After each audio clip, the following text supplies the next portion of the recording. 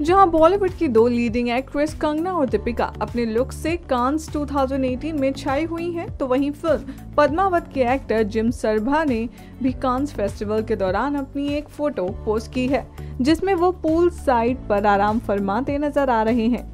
हालाँकि लोगों ने इस फ़ोटो को इतना इम्पोर्टेंस नहीं दिया, लेकिन अपनी इस फ़ोटो के बाद उन्होंने अब एक और रीसेंट फ़ोटो शेयर जिसमें आप उनका लुक देखकर दंग रह जाएँगे। हैंडवर्क एम्ब्रॉयड की गई लॉन्ग जैकेट और ट्राउज़र पहने इन तस्वीरों में ये लाखों लोगों का दिल जीत रहे हैं। जिम के इस काले कलर के जैकेट पर फ्लावर की खूबसूरत कारीगरी की गई है, जिसमें जिम का लुक काफ़ी हटके दिख रहा है। और अगर उनके इस टोटल आउटफिट की बात की जाए तो ये अटायर को एक रीगल टच दिया गया है।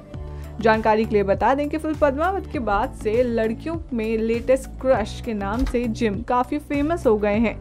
और अगर हम उनके फ़ैशन ट्रेंड की बात करें तो वो किसी भी ट्रेंड को फॉलो नहीं करते, लेकिन लोग आजकल उनके स्टाइल को फॉलो करते नज़र आ रहे हैं। Next nine life, news room की रिपोर्ट।